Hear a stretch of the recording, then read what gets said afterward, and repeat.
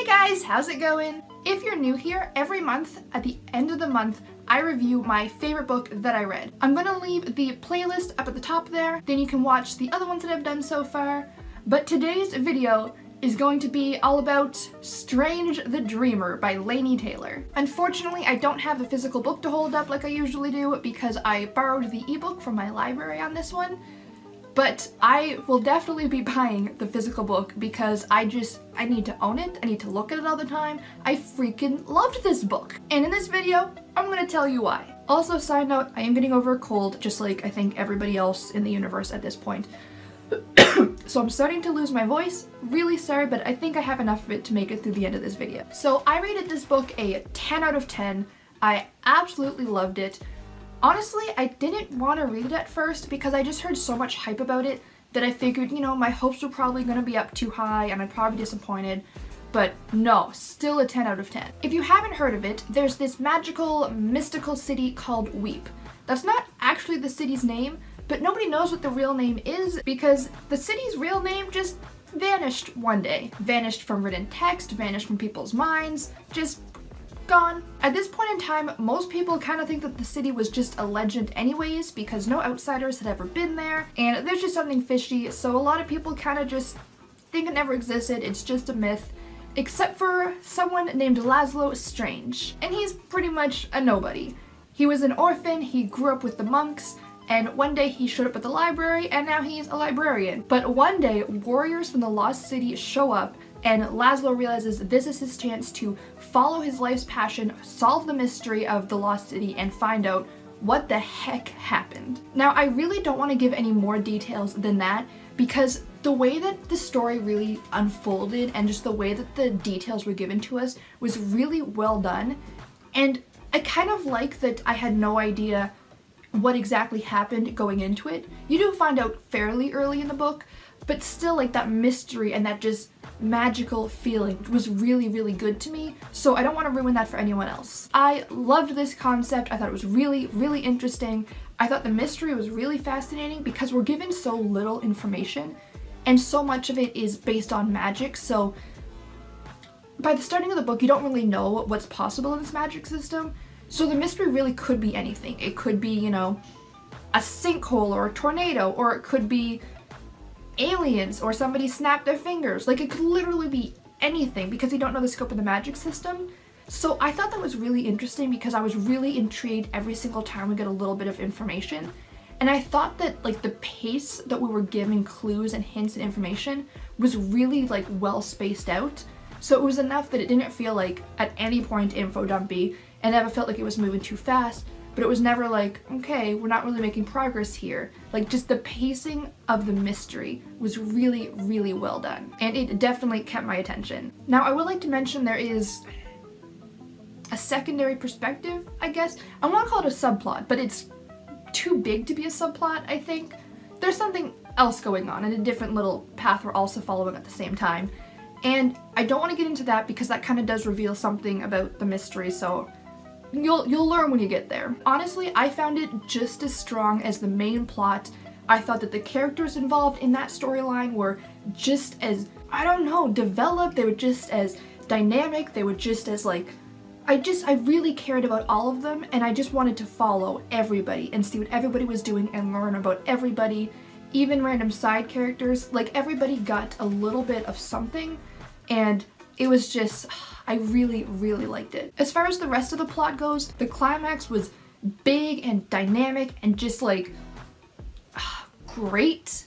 It was exactly what I like in a climax. Like it was just a big poof wow moment and so well executed and the ending was really, really well done. One thing I have to note about the ending though, major cliffhanger.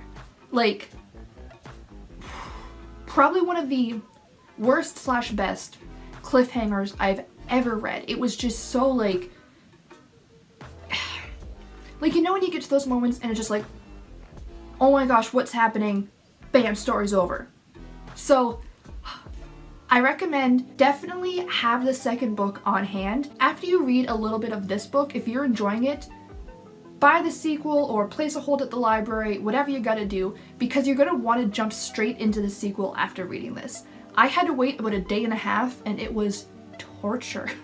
And side note, the sequel was also 10 out of 10, so definitely worth it, but it was just a very abrupt and intense cliffhanger. Moving on to characters, I loved them. I don't even know how to explain how much I loved them. I loved so many characters and I loved to hate so many others.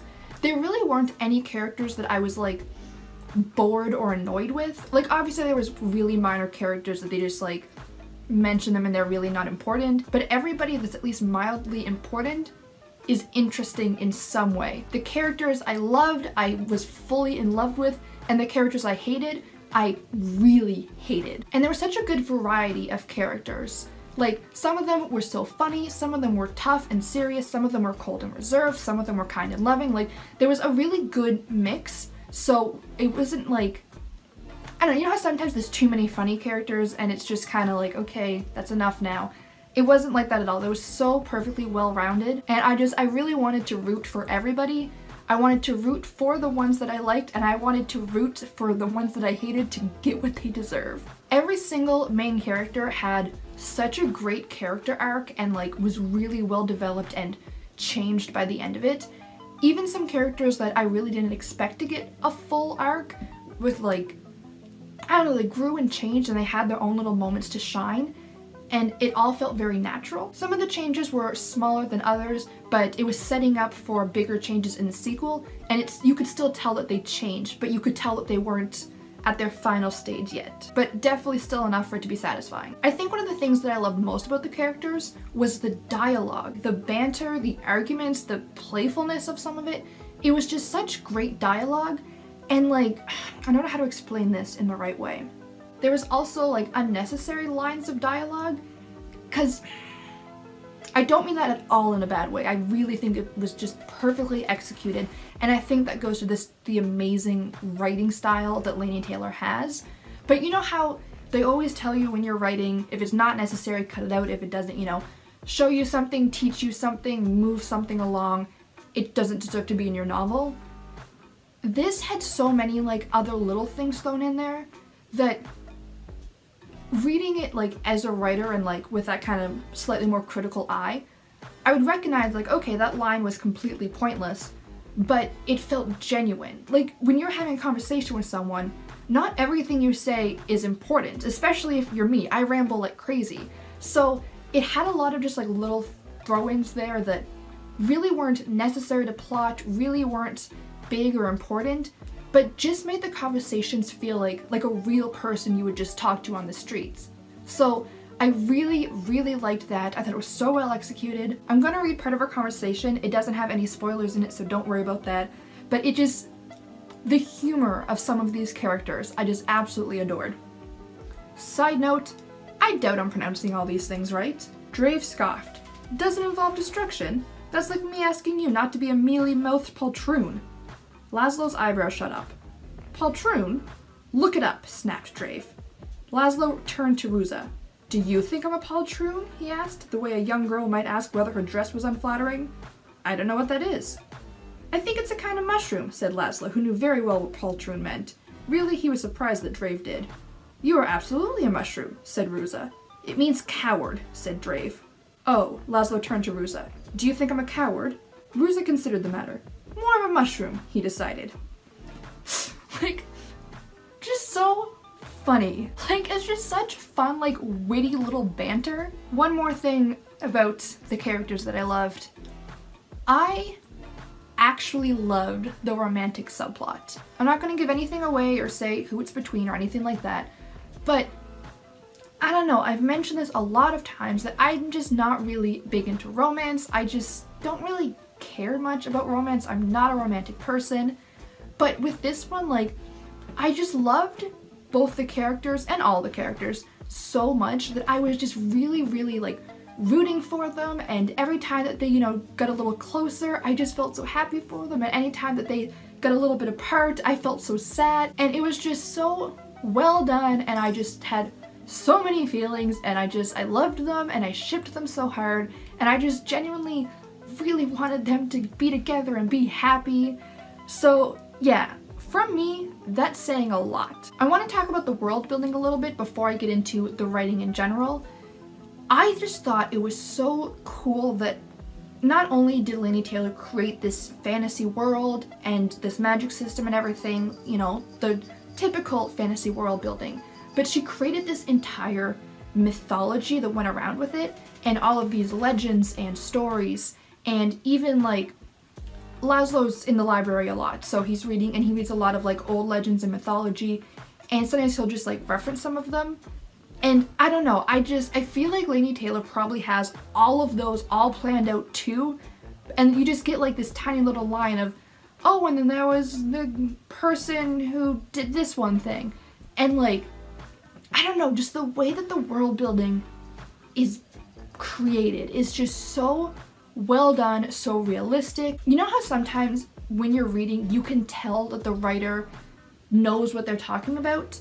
It really felt like that. Like, as I was reading it and like just kind of getting glimpses of this world and like seeing it come alive in front of me, you could tell that Laini Taylor knew everything about this world and like it was so like real in her head and just such a giant thing and she was feeding us the information that we needed and it just felt so so great. The world was complex but not at all confusing, just really like large scale and huge but we never got too much so it never felt overwhelming at all. And I think that has a lot to do with just like how great of a writer Laini Taylor is, which brings me to possibly my favorite thing about this book, and that is the writing style.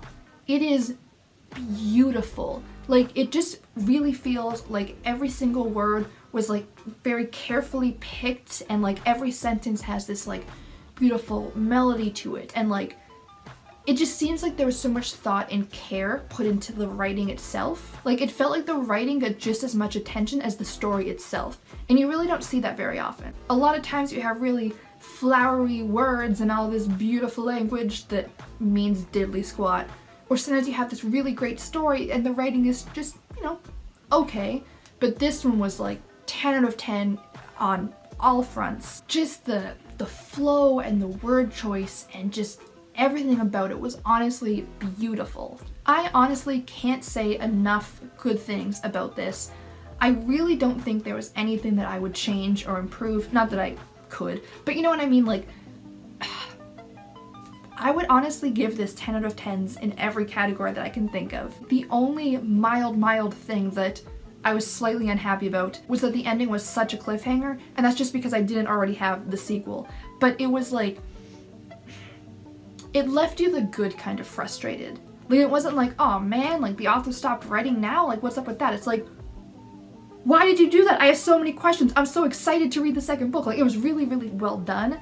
But that's honestly the only even slightly criticism and it honestly isn't a criticism at all. I would highly, highly recommend this book. I'm definitely going to be checking out other books by Laini Taylor because I am in love with her writing style and I just want to see what other things she's created and what else her beautiful mind has come up with. So that is all I have for today. Thank you so much for watching. If you enjoyed this video, please click the like button so I know. And don't forget to subscribe if you haven't already. I post new videos every Wednesday and Saturday, usually reading or writing related. And for the month of April, every Wednesday, I'm going to be doing a video about Camp NaNoWriMo, probably a writing vlog, but that's going to be coming up as well, so stay tuned for that. If you've read this book, feel free to comment down below. If you want to talk to me about it or get into spoilers, feel free to reach out on Twitter. My Twitter is linked below and I'll put it right here.